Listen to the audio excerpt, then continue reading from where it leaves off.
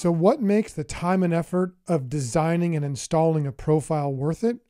Well, it's going to let us take advantage of the more than 100 years we've spent flying and the more than trillions of dollars that have been spent taking the complicated systems of modern fighters and making them simple and easy for pilots to use.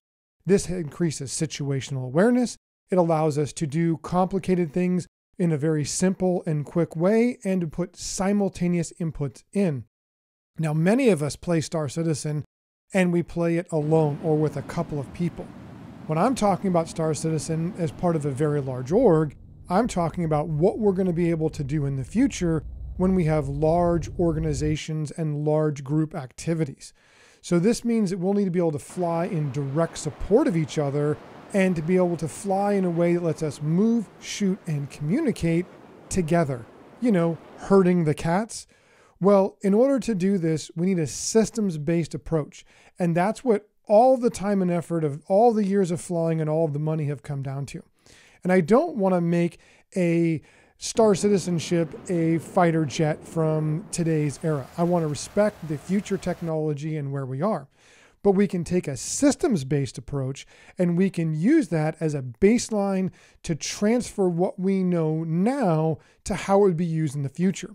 And one example of this is the shields and how we manage them. At least as far as we know, no modern fighter jet has shields, but we do need a way to manage them because it's important to take direct defensive action against where our most direct threat might be coming from. In addition to all of these things, I think it's also worth it for the immersion factor. Immersion is very huge to not only Chris Roberts and this project, but when I fly with a uh, joystick, I feel more like I'm in the game. And I feel like I am more flying the ship and get lost in the moment, which is the point and part of what entertainment does. But it also lets me do what I enjoy the most, and that's teamwork and working together. So follow with me as we go through the design of this and try to adapt what we know now to the future and how it can be used in Star Citizen. Where we are today started in 1903 with the Wright brothers' first flight of an aircraft. Less than seven years later, Lieutenant Fickel grabbed his rifle, went on the wing of an aircraft, and fired the first known shot from an aircraft. In 1950, the Lightning fighter jet was the first jet introduced with the HOTAS joystick concept. This design was designed to keep your hands on the throttle and stick, to keep the pilot's eyes up and looking out of the cockpit and not looking down and trying to operate systems they couldn't see while flying. This simplification, the easy use, and the quick access was needed to make sure that pilots were more combat effective. In modern systems and in modern fighters, they break these systems down into different names. And we're going to take a look from here on out at each one of those. And we're going to start with the Threat Management System or the TMS, as you can see here. This is the Threat Management System. The Threat Management System is designed for you to be able to handle targets that are enemies and to be able to find your friendlies because identifying the friendlies from the foes and knowing who you should and shouldn't shoot are very important. On here, you're going to see that we have four functions in white and four functions in yellow. The functions in white are the mod- are the primary state that when you press the button, that's what happens. A modified state is engaged when you press this lever on the HOTAS Warthog and this button on the T16000. With the modifier button pressed, the primary button changes to the modified state. So you get two functions out of each button. In this case, we have the target under reticle so that you can lock what you're looking at. We're going to not only be able to find our nearest hostile, but we're going to be able to cycle between them so we can identify a specific threat that's been called out or that we're looking for. Cycle our friendly so we can find someone that's in trouble or a wingman, and ultimately to be able to unlock a target. So, again, the threat management system in red is designed to be able to handle your targets and to be able to basically, in this case, we're doing a radar like function. In a modern fighter jet, it's a separate function that you get into. Um, but for Star Citizen, at least at this point, it's not there. The shields management system in blue serves two functions as well. The primary function is to be able to manage all of your shields forward, back, and your left and right. Now, there are mappings. I can't seem to get them to work in Star Citizen for top and bottom. We'll see what happens in the future. We may have to make some changes. But as of right now, the modified state is working with the threat management system for the pinning process. So we'll be able to pin our targets, to cycle pin targets, and unpin them. Now, in the modified state, we also have the ability to reset the shields, which is an important thing in case you've made some changes to help take the impact of fire coming from a specific side. And now you need to make that back to default, or maybe you change it to another location depending on your orientation to the threat. Now let's take a look at the Countermeasure Management System, or the CMS. CMS is in all modern fighters, as far as I'm aware of. And in this, we're going to specifically be able to control the countermeasure systems to avoid a missile.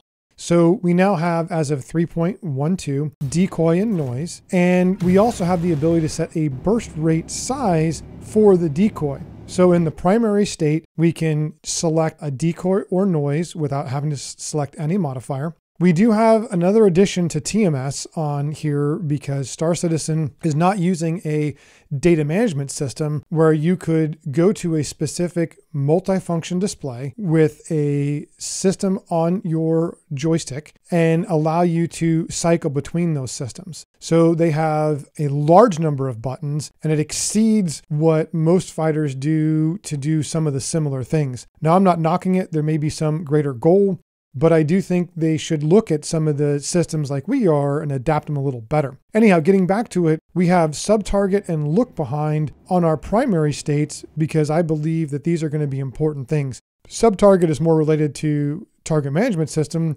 I do be, believe look behind is a little more related to your countermeasures. In the modified state, uh, we can increase and decrease that burst size. We can reset the sub target so that we can go back to targeting something besides just the engines, which we can currently, and then cycling our camera for an external view.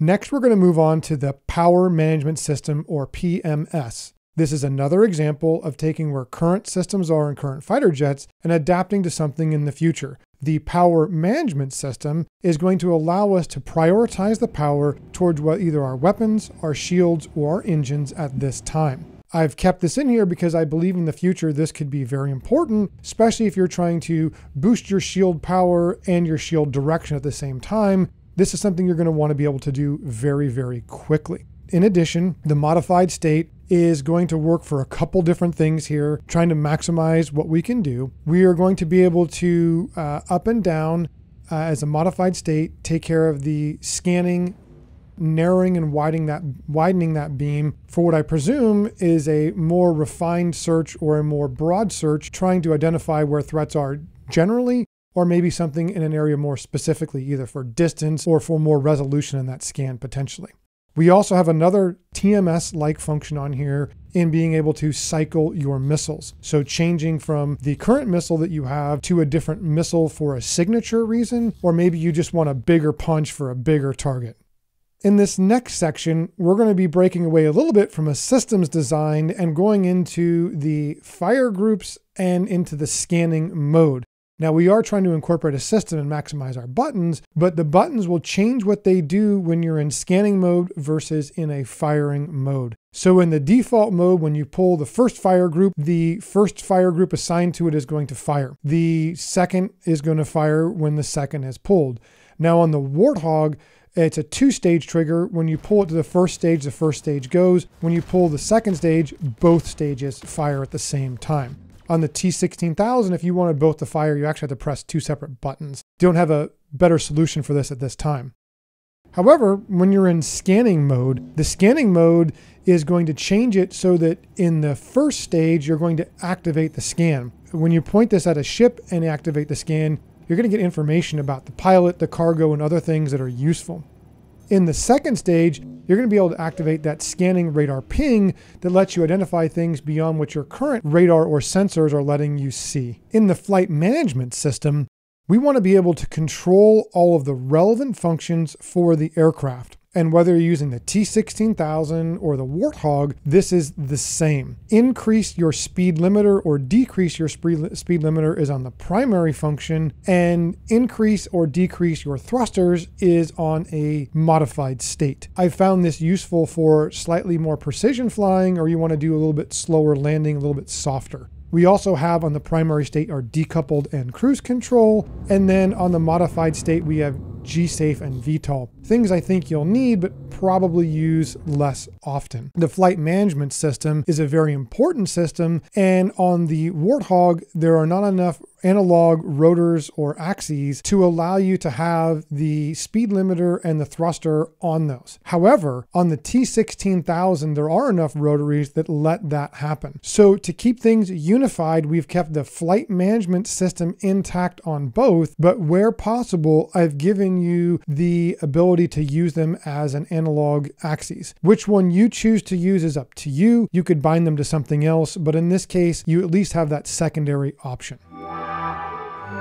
Well, now that we've covered the threats and countermeasures and how to fly, we need to talk about communication.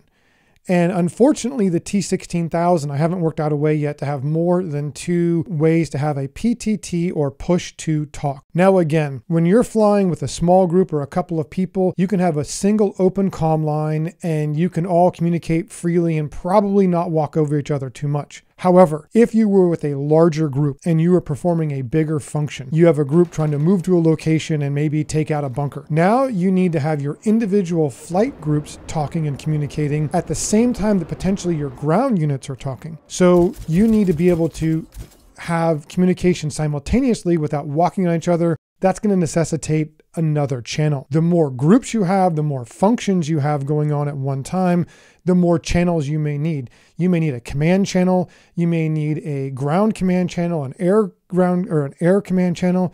You may need a channel dedicated to all the flight units to be able to talk to the different flight groups who are performing different functions at different times.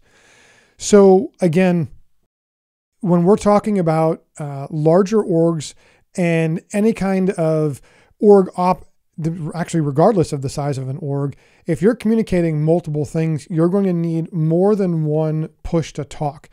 On the Warthog, we have three primary push to talks, and then we also have a VoIP for in-game comms.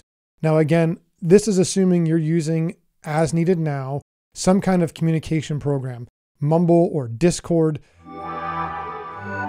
now on each of these two profiles for both the Warthog and the T16000, there are additional functions that are bound to either other buttons that are not hat switches or to the base of the profile. In this particular system, for both the Warthog and the T16000, we have covered seven basic hat switches or four-way switches for the Warthog and six for the T16000. On the T16000, we do not have a power management system because we don't have enough hat switches or four-way directional switches. Where possible, I've put those other functions on the base of the T16000 or on a non four-way hat switch. So if you think about it, you don't even need to remember all of the things on each of these systems, you would be beneficial to just know where those seven systems are. So if we're talking about your flight management system, your shields management system, your countermeasures management system, your power manage management system, or your threat management system. If you remember the location of those seven different four-way hat switch or systems, you're going to generally know whether you're going to be able to target and attack something, whether you're going to be able to defend yourself with shields or countermeasures, or whether you're going to use your power management system. Now, on each joystick, there are different things available in different locations outside of those hat switches. You will need to take a look at those and memorize those as you use them. In conclusion, these profiles should allow you to be able to move, shoot, and communicate with your friends, teammates, org mates, whether you're in a small group or a large group, more effectively. If you ever decided to go do a flight simulator like I do to fly a modern fighter jet, the layout of these systems and the system concept itself will give you a head start for those who have not. This integration will also allow flight sim pilots to pick it up, go into Star Citizen, and have a basic level of familiarity. Now again, shields and power management are not something that are known to be on a modern fire jet in the way that we see them in Star Citizen. So I hope that this profile helps. Please leave any comments or questions you have in the um, comments below. I will be looking at where the game is, what options are available, and the feedback that I get on these profiles to try to adapt them to how the game changes and what things we find. I've taken considerable time to try to bring what I hope is a valuable profile, but I also am very open to input because a lot of my org mates in Star Citizen at Atlas Defense Industries have given me things that either I didn't know about or a little bit better ways of doing them. So it is a fluid concept, but we're going to stick to the concept of a systems based and working it through that. Anyhow, I hope you enjoy this profile. And if you decide to support this, please like and subscribe or consider giving to Patreon.